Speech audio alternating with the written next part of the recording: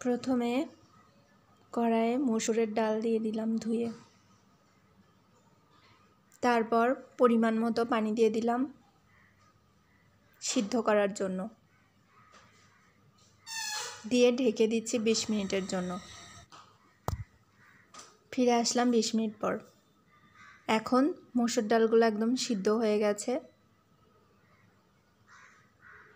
আর একটু পানি দিয়ে তার মধ্যে কলমি শাকগুলো দিয়ে দিলাম।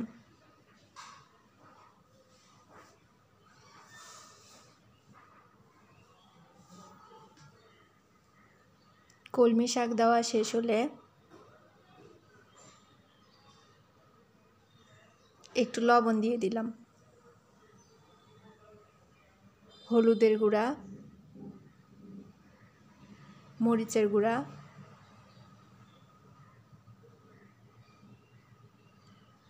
দিয়ে একটু ভালো করে নাড়াচাড়া করে ঢাকনা দিয়ে ঢেকে দিলাম পাঁচ, ছয় মিনিটের জন্য। ফিরে আসলাম ছয় মিনিট পর। এখন কলমি শাক একদম সিদ্ধ হয়ে গেছে।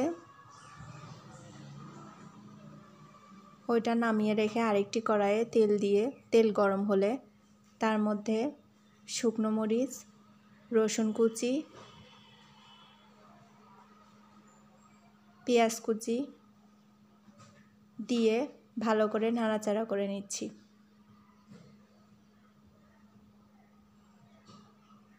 পাঁচ ছয় মিনিট ভালো করে নাড়াচাড়া করার পর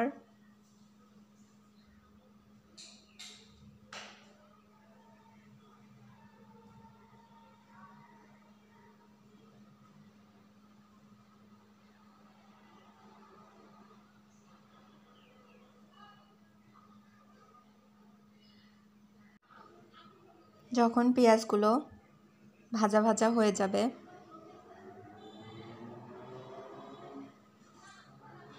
অর্থাৎ পেঁয়াজের কালার একটু চেঞ্জ হবে,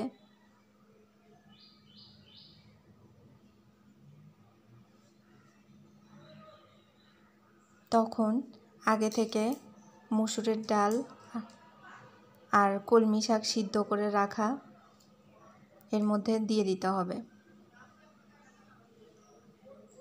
দিয়ে দুই মিনিটের জন্য ঢাকনা দিয়ে ঢেকে দিতে হবে।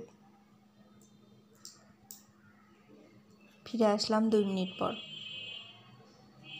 এখন রান্না একদম রেডি ভাতের সাথে পরিবেশন করলেই খেতে খুব মজা লাগবে।